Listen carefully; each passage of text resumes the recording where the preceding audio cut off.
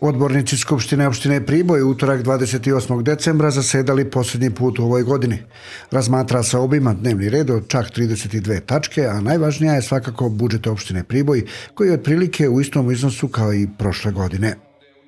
Planirani prihodi i rashodi su u sledećim iznosima. Iz izvora 01 budžet milijardu 247 miliona, 336.000, sobstveni 7 miliona 902 hiljade, ostali transferi 126 miliona 490 hiljada, što ukupno iznosi milijardu 381 milion 728 hiljada.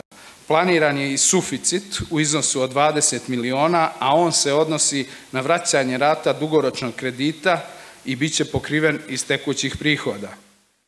Prema rečima predlagača, budžet koliko god bio veliki i razvorni, on je jedva dovoljan za pokrivanje tekućih troškova i manje intervencije u lokalnoj zajednici, a intencija opštine je da se za veće i kapitalne investicije sredstva obezbeđuju iz drugih izvora.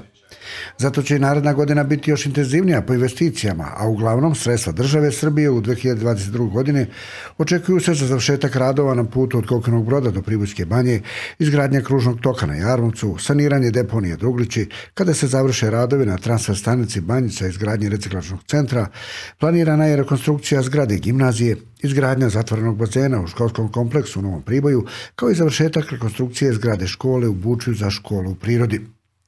U narodnoj godini očekuje nas i rekonstrukcija postojeće izgradnje nedostajuće kanalizacijne mreže. U drugoj fazi je planirano i postrojenje za prečišćavanje otpadnih voda, kako ni gram fekalne kanalizacije u buduće ne bi odlazio u reku Lim. Predstoji rekonstrukcija bolnice i doma zdravlja Priboj, kao i proširenje puta i novi vodovod ovih zdravstvenih ustanova, ali i fabrike polijester. Sa druge strane, odbornici Zdrave Srbije smatrali su da bi budžet opštine mogao i drugačije da se raspodeli, da su mnoge stvari samo spisak lepih želja, da je trebalo više sredstava opredeliti za socijalno ugroženim građanima, a kao pozitivan primer istakli su povećanje na poziciji briga o porodici, mada to po njihovom mišljenju i dalje nije dovoljno, jer bi moralo da bude mnogo više, jer je i država, kako su istakli, u tom pravcu napravila značajan iskorak. Budžet opštine Priboj za 2022. godinu usvojen je sa 30 glasova, dok su protiv bila četiri odbornika. Skupština opštine Priboj usvojila i treći rebalans budžeta ovoj godini, koji je zbog uravnotoženja prihoda i rashoda manji za 2 miliona 962 hiljade dinara, odnosno za 0,2 u odnosu na prvi rebalans budžeta opštine. Pribojski odbornici dali su saglasnost na program rada gotovo svih budžetskih korisnika u narodnoj godini, prihvatili su kadrovski plan Opštske uprave za 2022. godinu, kao i odluku o lokalnim komunalnim taksama, koja je samo usklađena sa zakonskim okvirima. Opštinski parlament na posljednjoj sednici ove godini bavio se i kadrovskom problematikom.